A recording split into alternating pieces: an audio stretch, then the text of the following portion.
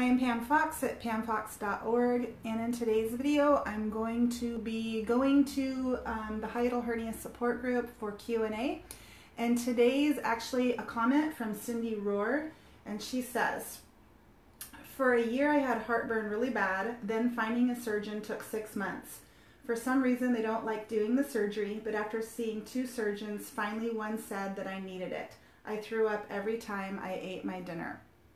So the reason I, I wanted to comment on this is because, um, first of all, I don't believe that um, surgery should never be an option. I believe there's a time and a place for surgery. And each individual has to really weigh out um, the risks and decide for themselves whether or not they want to have a hiatal hernia a surgical repair. Um, with that said, um, yes, surgery is like any surgery. Obviously, there are risks involved. And unfortunately, with hiatal hernia surgical repairs, oftentimes um, they don't work or they, they become reherniated in time or they create a lot of additional problems. The surgery itself can, cre can create additional problems. And I do not say that um, to scare anyone away from having surgery. Unfortunately, sometimes it is the only option, and I'm going to talk. I'm going to talk about um, some of the reasons why that can be. Um, but Cindy says that she had a difficult time finding someone that would agree to do the surgery, and again, that's because um, you know surgeons don't like to do operations that have you know that oftentimes you know don't work or that they you know if the, it's just going to have to be redone down the road or you know you're going to put yourself at higher risk from that surgery then why would they want to do that surgery? Um, so it's understandable why it's hard to find a surgeon that will do um, a hiatal hernia rip, surgical repair unless it's really needed. Um, so e examples of um, cases where um, a surgical repair would be um, you know a wise option. Obviously you know, if you've got a strangulated hernia, that's where you've got, you know, your stomach is up into the diaphragm. Really, I consider any hernia a strangulated hernia because you've got your, you've got it, you've got the, um, the diaphragm essentially wrapped around your stomach. The stomach shouldn't have anything squeezing it and wrapping around it. Um, but in the case of hiatal hernia, it does.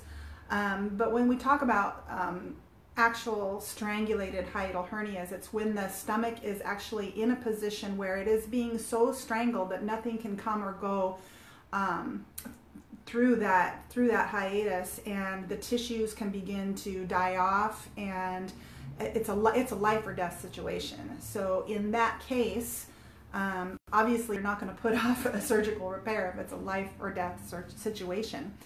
But also um, for folks who have a very uh, large hiatus where a large portion of their stomach is up into the chest cavity, maybe three quarters or more of the stomach is up into the chest cavity. This would be another time where, you know, you may want to consider a, a, surgical repair.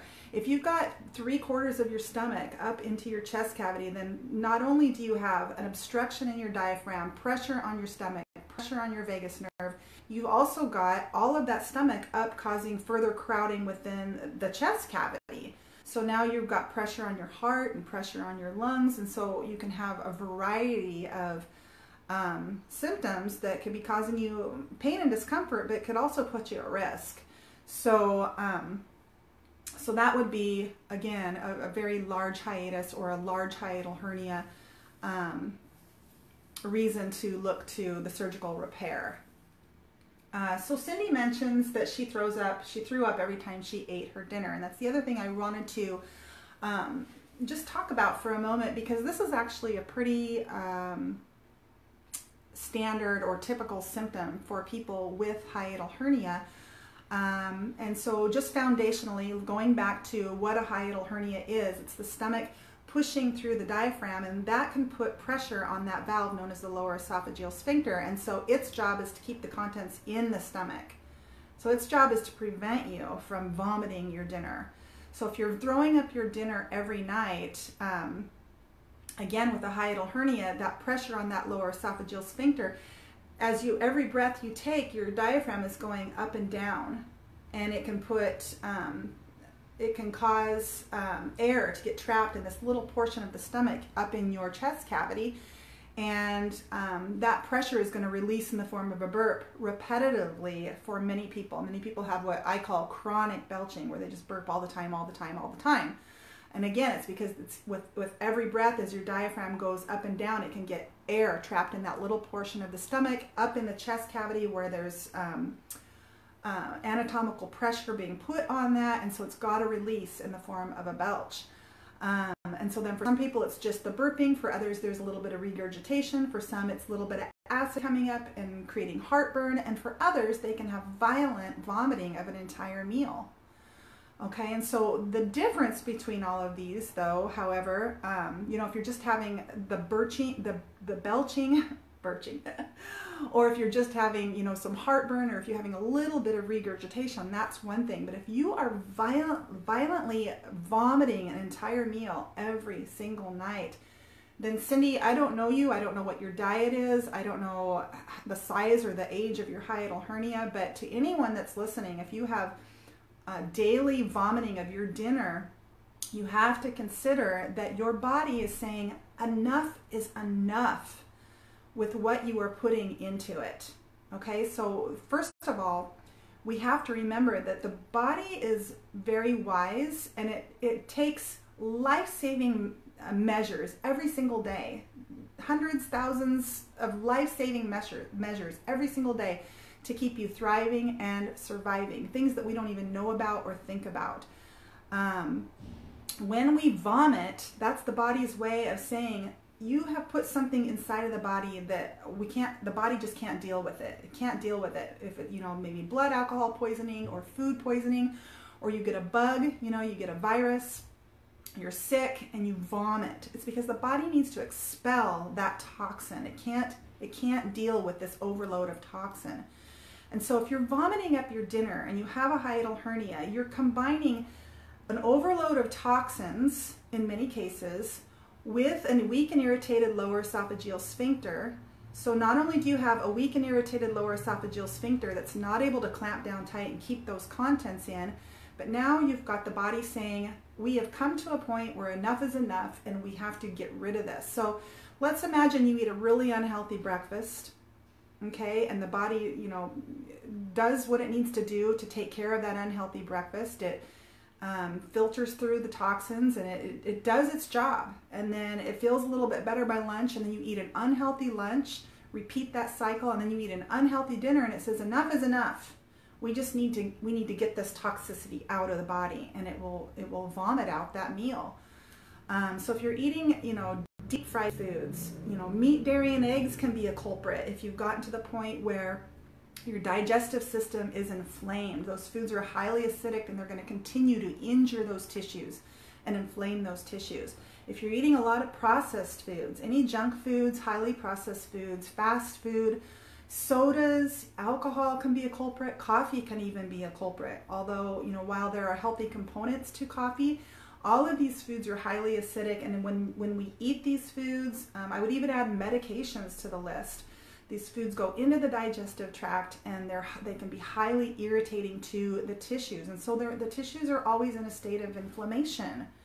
Okay, and so if those tissues are always in a state of inflammation and now you continue to enter in, you know, these junk foods, the, again, the body is going to come to a point and we each have a, you know, each of us has a different level of resiliency of what we can tolerate. You know, it might be a 10 year old child that's vomiting up their meals every dinner or it might be a 60 year old man or anyone in between. We each have a different level of resiliency where the body says, enough is enough. I can't take this, the way you are feeding this body, I can't take the way you are feeding me, can't take it anymore. We've just got to eject this food. Okay, so um, to wrap up, I would say um, Cindy or anyone else that's considering a hiatal hernia surgical repair, um, there there there may be an alternative therapy for you and that's what I teach. I teach reversing hiatal hernia naturally, holistically through one changing your diet and two learning how to master the techniques to maneuver your stomach and get it unherniated because if you can unherniate your stomach you will alleviate a lot of the symptoms that you're experiencing because you won't be putting all the pressure in the areas that you're putting the pressure on due to the hiatal hernia. And then three is um, learning how to strengthen your hiatus, the hole in your diaphragm, tightening it up so that that stomach can't re-herniate. Okay, and these would be important exercises to learn even after a surgical repair, so you don't have that re-herniation. Um, and so for someone with a very large hiatal hernia, a very long-term hiatal hernia, maybe you've had one your entire life, maybe surgery is the best option. But I would encourage you, if you are the type of person that thinks you can have a mindset shift where you say, I want to try a natural method. I want to give this a go. I want to give it a concerted, consistent effort, maybe for 30 days and just see how I feel. Just see how I feel. I would gamble that, Cindy, if you were to go on a whole foods plant based diet for 30 days, you would begin to experience a decrease in inflammation and an increase in healing within your digestive tract and fewer and fewer symptoms. And if you would take the time to learn how to master um, moving your stomach down and out of that herniated position and strengthen your hiatus through some very simple um, and easy breathing exercises, um, then you may be able to reverse your hiatal hernia naturally. Okay? So um, if you uh, like this content and you want to hear more about how to reverse hiatal hernia naturally, you can follow uh, me here on Facebook, like this page. You can also check out more at my website, pamfox.org, where I do sell a course where all of the information on how I reversed my hiatal hernia naturally is there in an online course for $67. Thank you for watching.